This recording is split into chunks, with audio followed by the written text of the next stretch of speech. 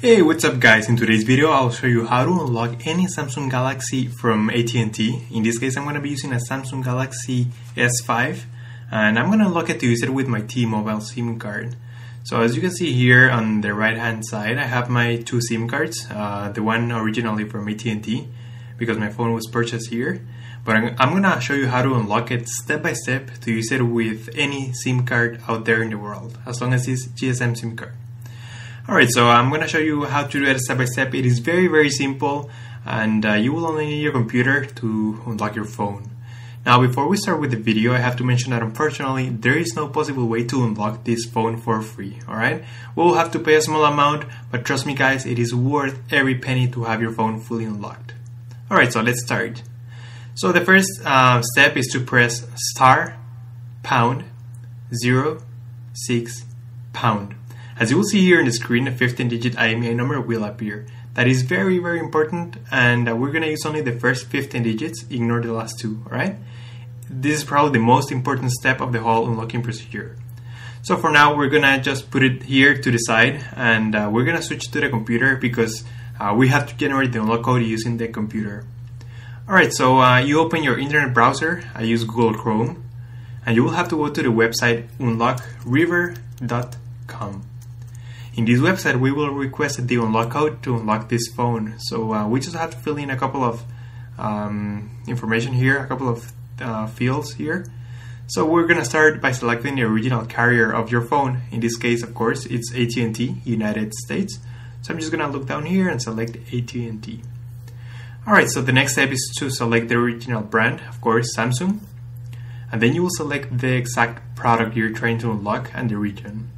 Uh, in this case, we're going to be unlocking a Samsung Galaxy S5 from USA AT&T. So just make sure you select it, you select the right, right product here. Okay. So we're going to be unlocking that one. Let's click on that one. And the next step is the most important one. Here you will have to type the 15-digit IMEI number we received in the uh, um, the 15-digit IMEI number we got at the beginning of the video. So I'm just gonna go ahead and paste it here I already have it saved. So uh, just make sure it is 100% correct. Then you're going to write down your personal email where you want to receive your unlock code. And if you scroll down, you will see uh, an average delivery time and the price to unlock your phone. Okay, the price may vary depending on your phone's brand, carrier, and uh, model. So we're gonna click the button unlock now and you will see a page just like this. In this screen, just make sure you read everything. Uh, it is very, very important. And uh, after you have read everything, you click where it says pay with PayPal. Check out with PayPal. Now, as I promised, uh, I was going to show you exactly step by step how to do it. So I'm not going to skip the payment. I'm just going to make it really quick here.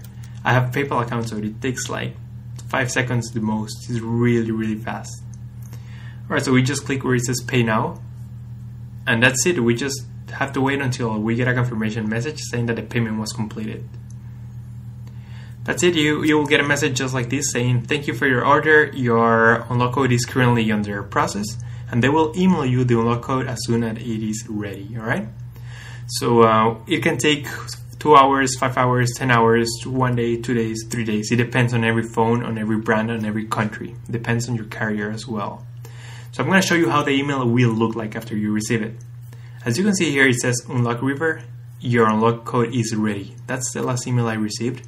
So I'm just gonna open that email and you will see that we received the unlock code here.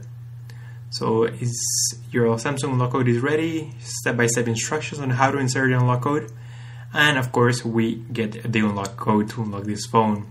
Additionally, if the unlock code fails, you will have to enter the unfreeze code provided down here. Alright, so I'm going to show you how to, in, how to insert the unlock code into the phone. So we're going to power off the phone and you click OK to confirm. We're going to remove the back um, cover or uh, the back case of the phone.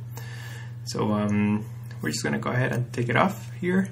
We remove the battery, of course, because we need to insert a new SIM card.